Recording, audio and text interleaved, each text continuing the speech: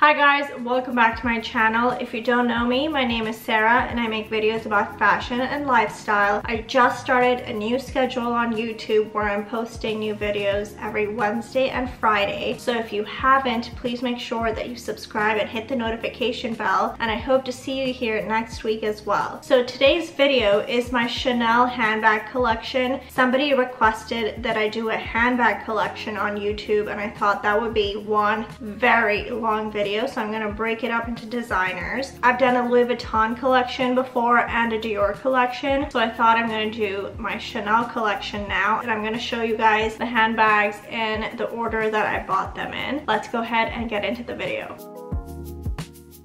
My very first handbag that I bought, I kind of bought it on a whim. I had been working full-time as a blogger for two years by then and I was starting to make money off of my business and then I decided that I would save my money and buy a Chanel bag. I went into the store thinking that I wanted a classic bag but then when I saw this one I kind of like impulsively bought it because I thought it was the most beautiful bag I've ever seen. It's this lilac boy Chanel. I love this bag so much I actually did a video on this comparing the Boy Chanel to the classic flap, but I am in love with this bag. It is such a beautiful color. I hope that the camera is translating this color well. I love that it's very unique. This was definitely a limited edition because the Boy Chanels usually don't have this weave on them. And I'm so happy to have found this because I have never seen anybody else have this bag. So I know it was really rare. And I thought it was a special purchase to have as my very first Chanel.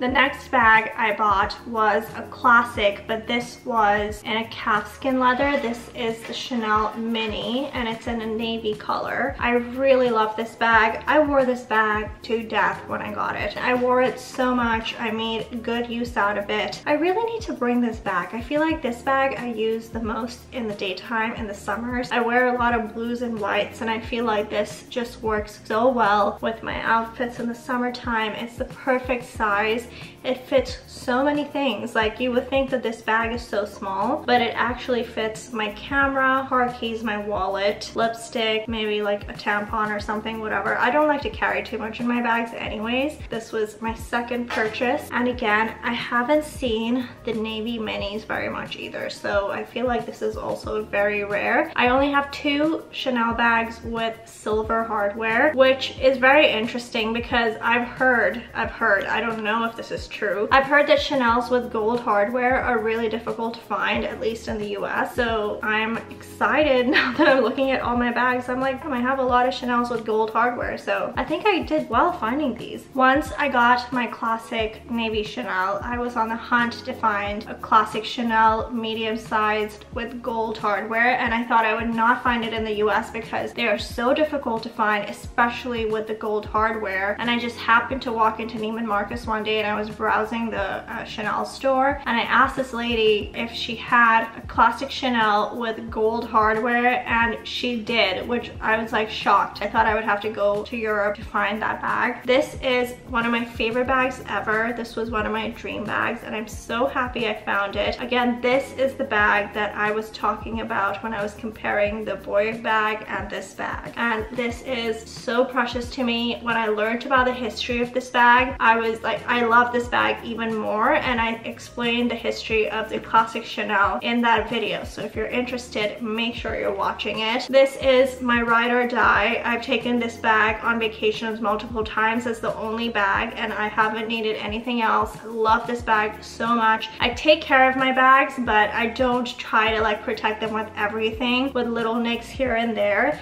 But the caviar leather on this has lasted so beautifully. I don't see a single scratch on this and it is one of my favorite bags to date.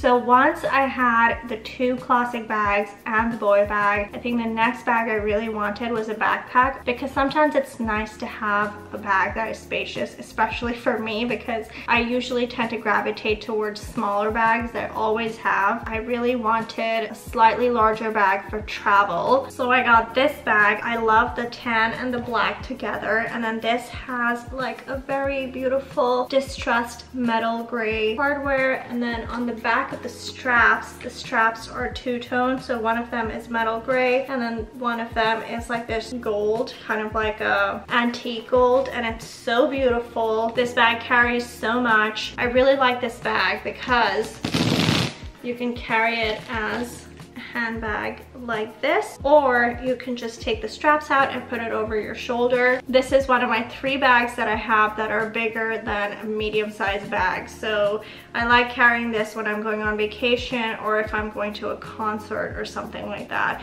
This is always very handy to have in those situations. Okay, fast forward many years after I had those two bags, I was not looking to get this bag, but when I went into the Chanel store for some reason, I couldn't not have it. I don't know why, but I love this bag so much. It is so unique. Never seen anybody have it. This was in the collection that they released maybe two or three years ago. It was like a Parisian collection kind of centered around the Ritz, which is just so glamorous, like uber glamorous, right? So I bought this bag. It's a clutch. It's sequenced all around. It's supposed to look like a door tag because of the Ritz. And it says, please do not disturb on the front. And on the back, it says, please dare to disturb. I thought this was such a cool concept. And then the chain is just so gorgeous. It's a clutch, it's an evening bag. You cannot fit very much into it, probably just your phone. But when the zip is on, this is how it looks. It's just the detailing on this is so beautiful. I love it every time I take it anywhere. I get so many compliments on it. I love this bag and I'm so happy I got it. The next bag that I'm showing you is my least used bags, but I love this bag so much. I still will never part from it. It is my Chanel wallet on chain. I got this in Paris, hence probably the gold hardware, but I really do love the gold on this. It's so nice together, the red and gold, and then it comes with a really long strap. The only thing I'd say about Chanel wallets on chains are that they the strap is like super long, so you need to knot the strap to put it as a crossbody. I do like that it has two zipped pockets and then it has this entire area for your phone, so it's quite handy if you do want to just carry it as a wallet. Now that I'm thinking about it, why don't I use this more often? Because it's actually really convenient if I want to only take my wallet with me somewhere quickly. And then when I need it to be hands-free, I can just wrap it around my body with the chain. I don't know why I didn't think about this before, but yeah, I think I'm gonna start using this more now. It is in the calf leather. I do like that it has like the same detailing on the bag as the boy bag. So it's really beautiful. Love this color color, I'm definitely gonna start carrying this around more. I'm happy I never got rid of it and I never will. And the last bag I wanna show you is a vintage find. I got it in Amsterdam last year. This specific combination in a bag I had my eyes on for the longest time and I just wasn't able to find it. It kind of happened on a fluke. I went into the vintage store and I saw it and I had to have it. And then I was thinking, why did I never try this before? Why didn't I shop for vintage Chanel when I went to Europe? Because Europe has some of the best vintage Chanel handbag selections I have ever seen, especially in Amsterdam. They were off the hook. In Italy, I wasn't able to find much, but like in Amsterdam and Paris, I feel like that is the place to go vintage shopping, especially for Chanel. I was blown away. So without further ado,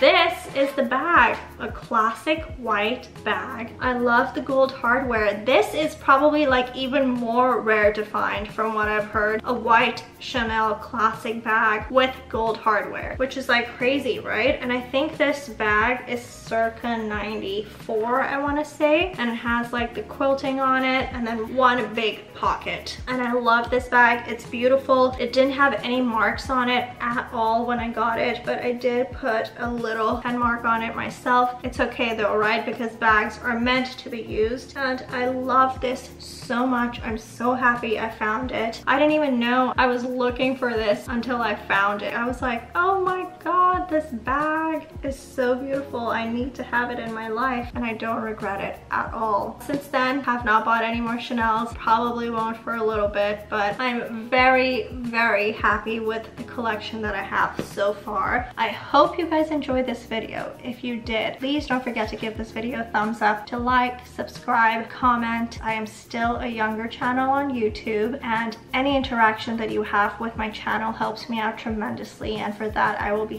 so grateful. Come back for another video next week and I'll see you guys then. Bye!